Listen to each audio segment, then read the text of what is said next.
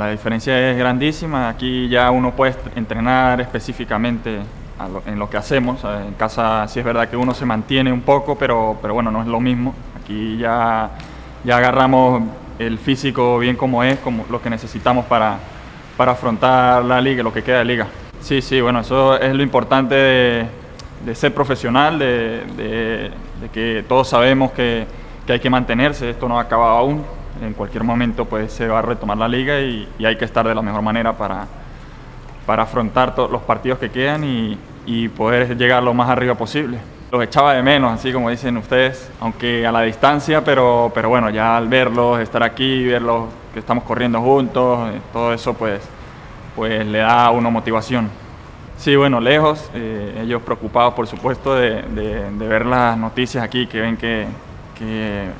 Aquí el, virus ha, tomado bastante fuerza. Eh, por allá no está la, situación como aquí, pero, bueno, también tranquilos en casa, con salud, que es lo importante, y, en comunicación constante.